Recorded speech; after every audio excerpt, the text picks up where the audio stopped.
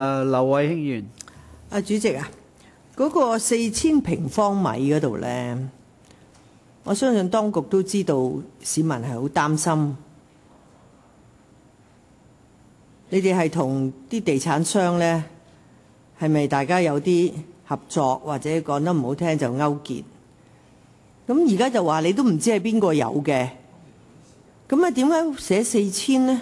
點解唔係四千五？點解唔係三千二呢？即係你完全唔掌握嘅，就咁喺個空氣度畫一個圈，咁就係嗰個啦。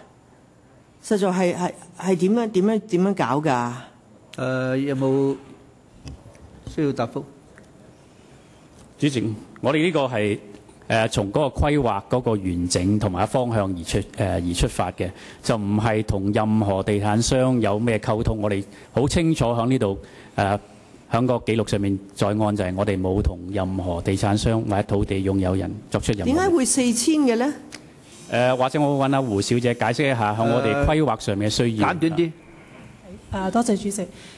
其實呢個四千平方米嘅準則呢，我哋都係參考過誒、有一啲規劃嘅項目呢，係可以有一啲比較完整性嘅規劃，譬如話誒誒有啲發展呢係誒、如果係以四千米嘅地盤嚟計呢，係大約喺可以起到兩座嘅誒、呃、樓宇嘅。咁我哋就希望呢喺誒、新發展區裏邊嘅規劃呢係較為完整性，咁所以就定咗呢一個四千平方米嘅誒、一個標準啦。咁我哋亦都諮詢過業界呢，係去誒擬定呢個標準嘅。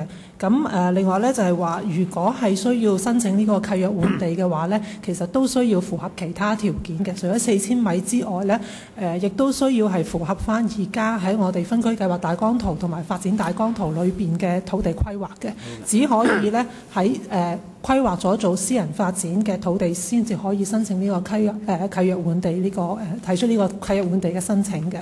咁至於係規劃咗做誒、呃、公共房屋或者係道路啊或者係其他公共設施嘅地方呢，其實政府係會徵收翻誒私人土地去發展嘅。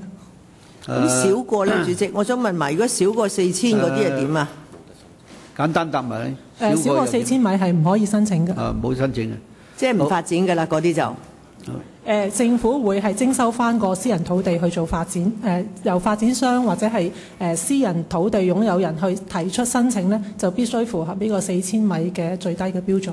即係你哋少過四千都會做，就政府去收地。係好冇？多過咧就係咁，咁真係好怪咯。點夠時間啦。誒，我諗嗱，以下仲有幾位仲係想繼續發言，我都俾埋。